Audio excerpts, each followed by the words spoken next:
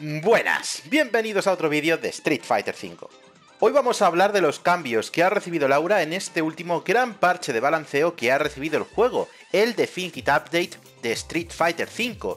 Y la verdad es que son muy poquitos cambios, básicamente sobre todo enfocados en el B-Trigger 2, pero bueno, en general son cambios positivos para el personaje. Vamos a verlo.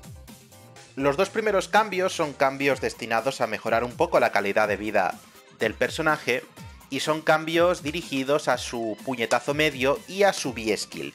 ¿Qué es lo que han cambiado exactamente? Pues sintetizándolo un poco, básicamente cuando golpeas, por ejemplo, con este puñetazo medio, que es una habilidad sobre todo pensada para hacer de antiaéreo, ahora el input de las cosas que hagas después no, no va a cambiar en función de dónde se encuentre el personaje, ¿de acuerdo? Es decir, si por ejemplo intentas hacer algo así, ya no te va a ocurrir que a lo mejor hagas, hagas el dash especial de la B-Skill en la dirección opuesta, ¿de acuerdo?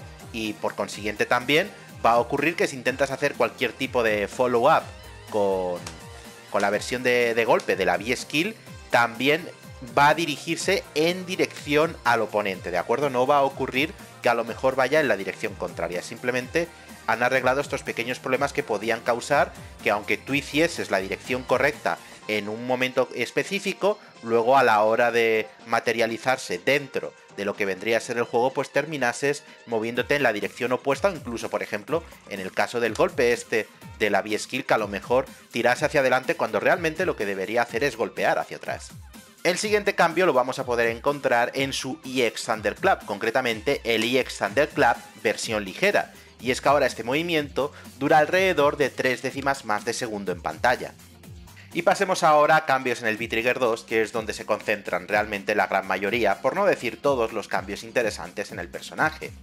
Y es que ahora el Sway de este V-Trigger 2, como veis, cuesta barra de V-Trigger, puede parecer un nerf, pero realmente no lo es, porque ahora puedes cancelar este movimiento en cualquier golpe, ya sea único o normal.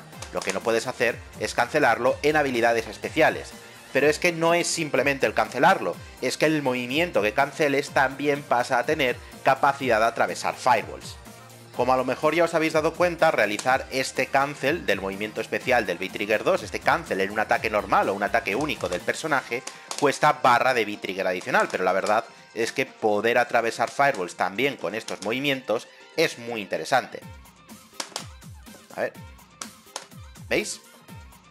El siguiente cambio del V-Trigger 2 también es bastante interesante y básicamente consiste en que ahora podemos utilizar este throw especial que antes solamente podíamos lanzar desde la esquiva del aura en este V-Trigger, que era concretamente este, bueno pues ahora podemos llegar a lanzar este throw sin necesidad de realizar la esquiva, ¿vale? También cuesta barra de V-Trigger, ¿vale? Como veis aquí, de hecho cuesta bastante barra, pero en principio puedes utilizarlo en cualquier momento sin necesidad de esquivar necesariamente.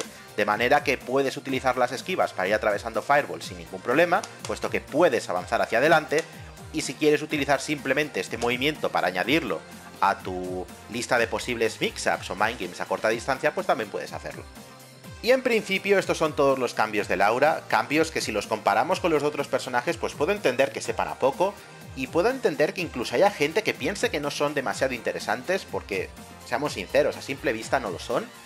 Pero, sinceramente, eh, los dos cambios que ha recibido el V-Trigger 2 me parecen fantásticos porque ayudan mucho a este personaje en los matchups de Fireballs.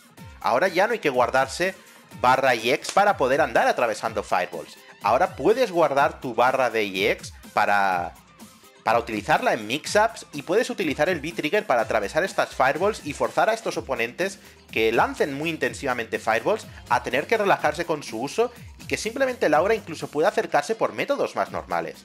Así que son poquitos cambios, no son cambios que te hagan estallar la cabeza, pero sin duda son cambios que van a reforzar mucho al personaje, así que deben ser bienvenidos con los brazos abiertos por los mains de Laura.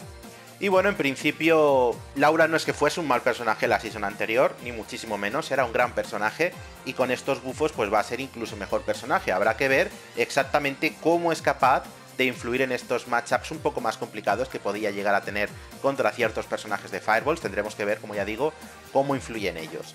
Si te ha gustado el vídeo, si te ha resultado interesante, no olvides darle like y sobre todo no olvides suscribirte al canal. Y hasta aquí todo, hasta el siguiente vídeo. Adiós.